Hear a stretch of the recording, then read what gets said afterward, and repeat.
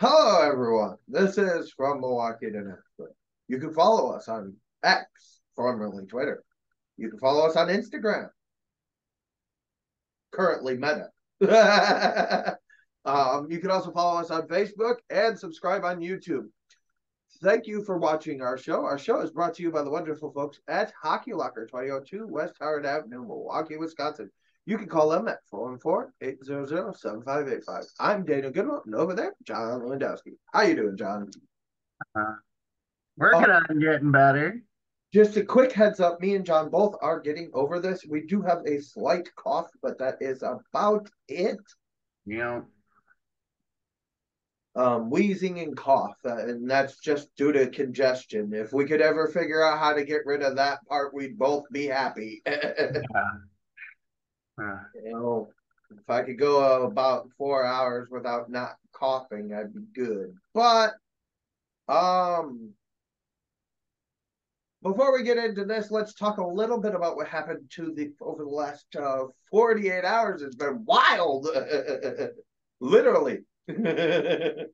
uh, Wild fired Dean Evason, Admirals former head coach. I literally felt like I was trolling the Wild on our page, and uh, they fire him and hired John Hynes. Uh, John Hynes, uh, I don't think that that their system, his system, had anything to do with today's three-one win. I think the guys went out there and played hockey, and that's that's just that simple. Um, sometimes the best things happen when you just let the guys play and yeah. you don't put a system in place to play. You just let hey, do what you think is right. And sometimes um it's a really good thing. Other nights it's a really bad thing. Um, you can't do that really too long.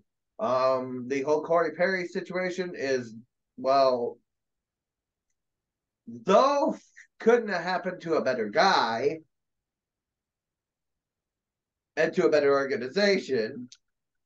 As we all know, I have no love for the Blackhawks after the Cody Beach situation and many, many other issues that I've had with the Blackhawks, dating back to when this team tried to become an NHL team and they blocked us, or the fact that this team had to sit there and watch them pick the first overall pick in a draft they shouldn't even had one because of Cody Beach's situation. So you get where I'm going. There's a lot to unwrap there as far as my disdain towards the Blackhawks, but that's nonetheless there. Um, my thoughts on how my thought on how they handled it is I think they handled it horribly.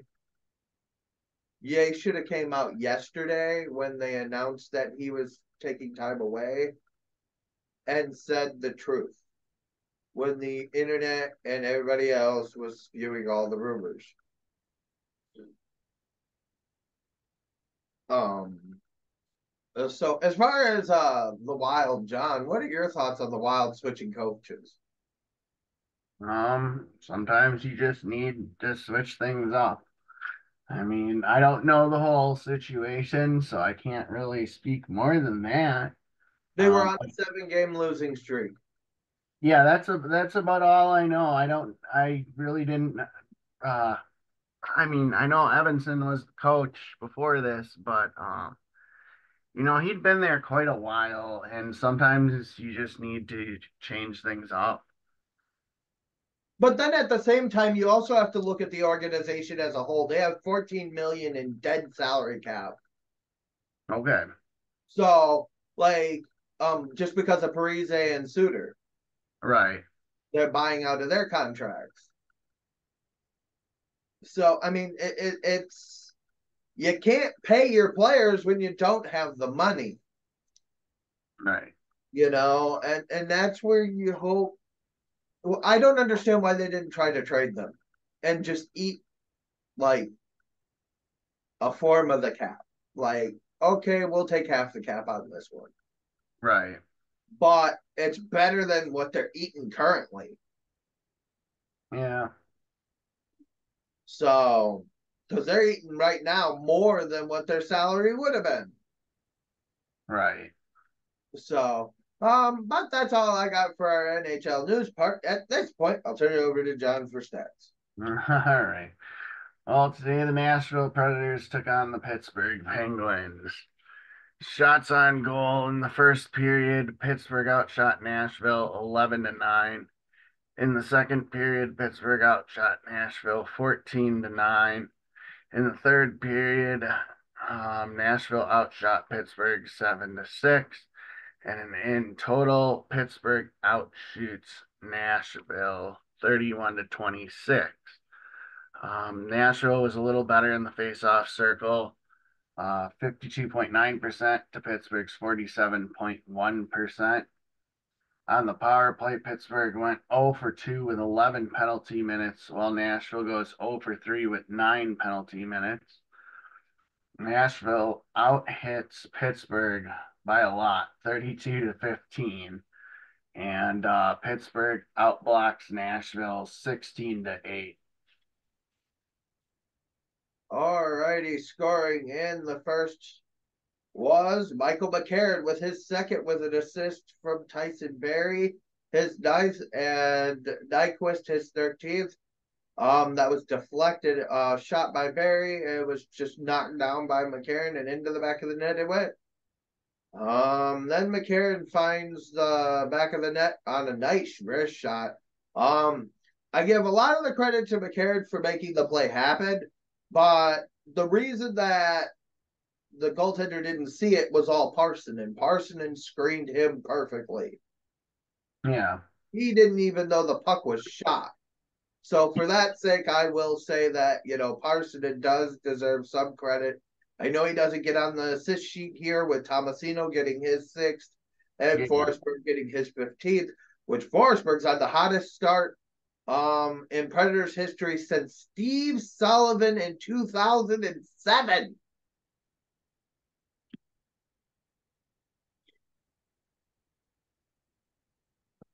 So just to add that in there. Um, in the second period, it's Kenny Malkin, one of my favorite players ever to all ever play. Um, Malkin always one of those guys who just work hard, doesn't care how who he's got with him, he just works hard and makes the good right plays. Um, Pittsburgh spoiled with the center core that they got. Yeah. Um, but Malkin, Malkin's been a big part of that for many, many, many years, and um, I like Malkin. I can't say the same about Crosby, but I like Malkin.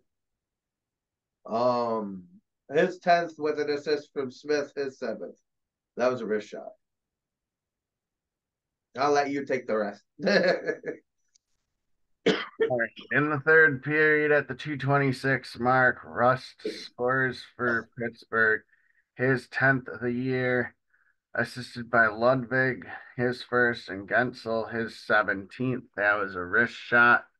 And that tied it at two, two to two.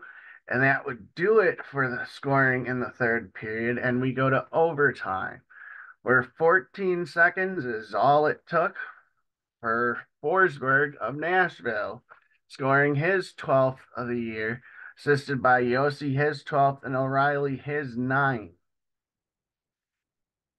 Um, that incredible play by O'Reilly to keep that his really was line there while being pummeled by Crosby. Yeah. I apologize for that. I had a yeah, I was like, I'm turning it over here. Can't breathe. Got a cough. As we said, we're still getting over this. We're still trying to move forward. Um, in that for the Preds was Juuse. Saros is now also congratulations Saros on um being named third star of the week last week. Um, we apologize. Uh, we had stepped away not only for the holidays, but because we were all kind of under the weather we have good days and bad days over this time. Um, no, our show is not brought to you by NyQuil or Vicks Vapor Rub Company, even though thank you for making such wonderful products to help us through this. um, but uh, no, uh, we uh, what one thing I can say while we were gone is we did pay attention to what was going on. And one of the things that we did see is that when the Preds started winning, when they started playing together, when they started pushing together. You know, it's not just one guy stepping up, it's everybody. Yeah. You saw it tonight with McCarron. Right. With goal or two goals in the fight. All he needed was the apple and he got a Gordie. but you know, um, you know, uh I love Gordie. but you know, Gordie Howe, probably one of the greatest hockey players to play, and and you you specialize one assist a game, a fight a game, and a goal a game. That's all you should need. Uh, that was what he always believed. If you could do all play all three parts of that game, teammate, score, physicality. If you could do all three of those, your team's gonna win. Well, and and believe it or not, I guess he just had to find the back of the net twice.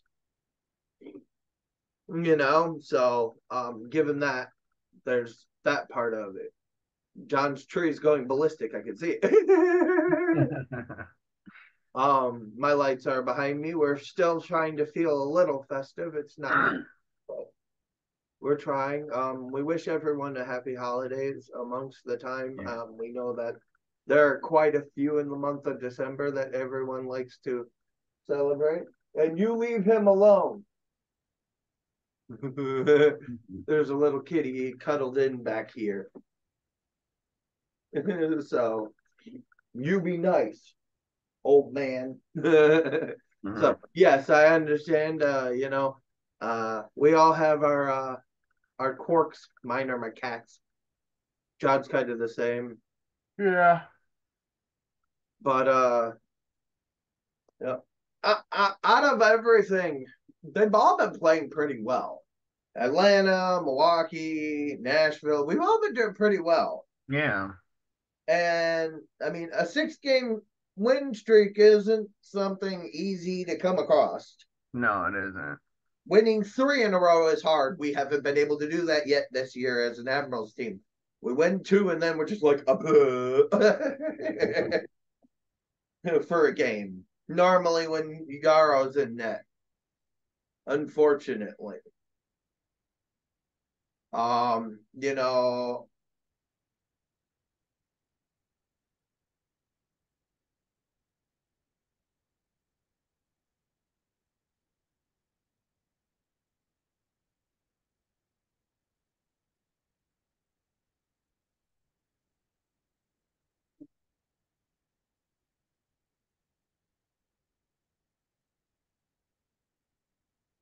uh looking around. Um oh Patrick Kane signs with the Red Wings. Red Wings been surprisingly good this year.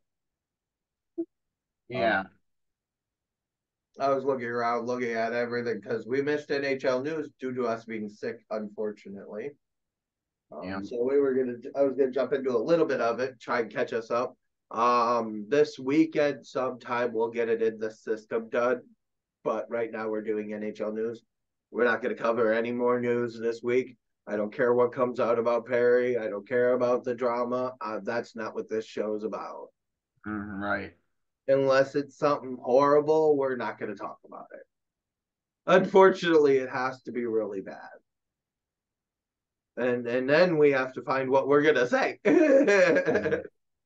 so, um and, and all in all, um Preds fans be happy. Um this is what a competitive rebuild looks like. You have young kids getting a valuable experience. Um, Go- Saros is starting to get his form back, which I think it just took a little bit of time for the defensive system to kick in. Um, I know that once Novak and and Glass are back, that'll be a little bit easier. Um, hopefully Glass is back a little sooner. Um, I know that Novak they said around December fifteenth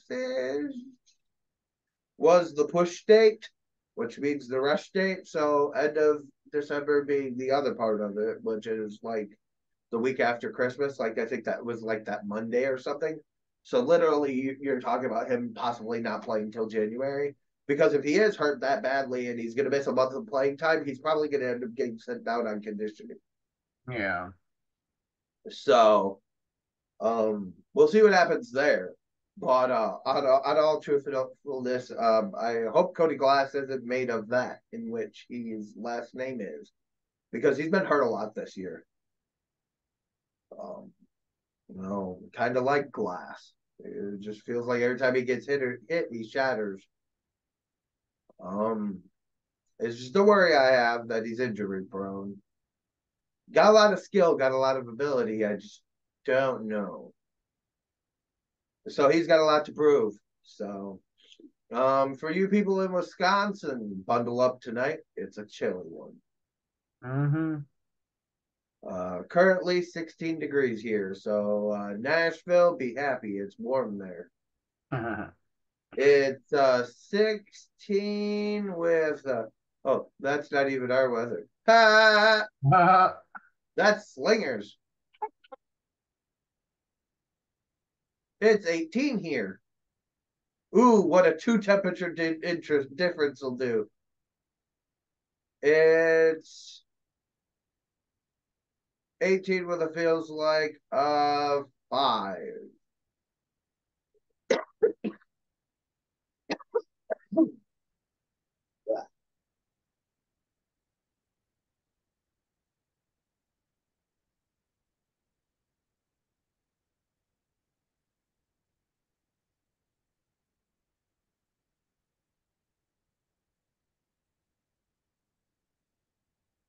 And in Nashville, it is 25 degrees with a feels like of 18. Okay, it's not so much warmer. But y'all's high tomorrow is like 42. Uh, 59. So net oh oh enjoy Thursday 62. Our our high on Thursday is 45 with sleet. Because they don't know if it's gonna rain or snow. So uh your uh lo- your uh multi-local weatherman from Milwaukee to Nashville. um you know, we've been away for so long. I just wanted to uh, say thank you and uh, yeah. hope all of you had a good time as well. Hope you enjoyed your holidays. Um, Hope everybody had a good, safe Thanksgiving. Oh, and if you watch this, please leave a comment down below. How many plates did you have? I had three. One was just pie. the other two were filled with all the fixins. and I mean full. John, I think, had two.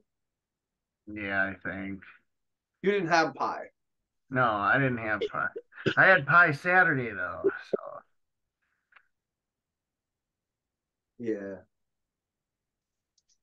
Um, yeah, so uh also comment down below your favorite pie. And by the way, just remember, it's the holiday season. Don't let yourself be the one to take the last deviled egg. mhm. Alrighty, enough joking aside.